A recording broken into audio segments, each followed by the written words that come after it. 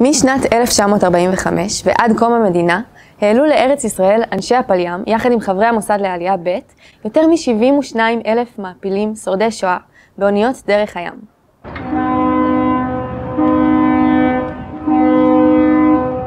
הסיפור על האונייה כנסת ישראל מתחיל ביוגוסלביה. בעוד המעפילים זרמו למחנה העברה, התרחשו הכנות לערב ההפלגה. ההנהגה היוגוסלבית תמכה במפעל ההעפלה, והעמידה לרשותו 300 שבויי מלחמה גרמנים לעזור בהכנות.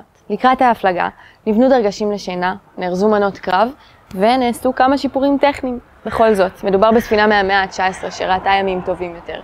ב-7 בנובמבר 1946 עלו על האונייה כ-3,400 מעפילים. משפחות, ילדים, זקנים, צעירים מתנועות נוער ציוניות ו-11 נשים בהיריון מתקדם. ההוראה הייתה לא לאפשר לנשים בחודש השמיני לעלות, אבל איך אמר יוסי הראל מפקד האונייה? לך תבדוק. למרות רוחות וגשמים, הספינה יצאה לדרך. לצידה שטה אונייה נוספת, אבא ברדיצ'ב, ובה 400 מעפילים. האונייה הקטנה התרסקה כבר ביום למחרת. מעפיליה הצליחו להיחלץ מהשרידים ולעלות על האונייה הגדולה, אך תוספת זו הפכה את כנסת ישראל לעמוסה ביותר מכל ספינות המעפילים עד כה. 19 יום לאחר תחילת המסע, הופיע בשמיים מטוס בריטי, אשר ציווה על האונייה להזדהות. מפקדת ההגנה בארץ, שהייתה בקשר רציף עם הספינה, הורתה להניף דגל זר ולהסוות את המעפילים מתחת לסיפון. הבריטים הציעו ליווי ליעד ועזרה רפואית במידת הצורך. באונייה התנגדו להצעה. באותו הערב, משחטת בריטית החלה לעקוב אחר האונייה, ואחריה עוד אחת ועוד אחת.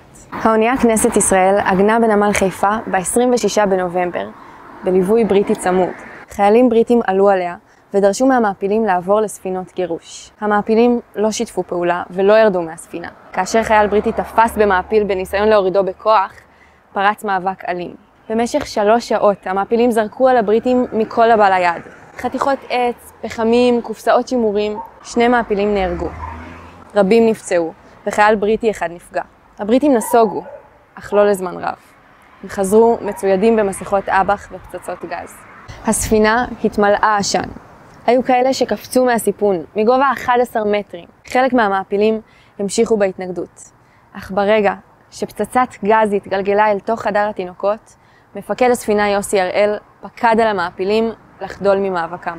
המעפילים הורדו מכנסת ישראל, והועלו לספינות גירוש למחנות מעצר בקפריסין.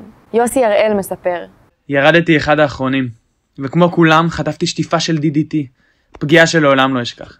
אתה מרגיש כמו פשפש. ועם כולם, לבוש כמו מעפיל, עברתי לאוניית הגירוש לקפריסין. זה קרה עם מעפילים שעברו את השואה, ניצלו בנס, והיו 23 ימים בים. אותה שעה פצחה ילדה בשיר, כנרת כנרת, ואלפי המעפילים פרצו בבכי.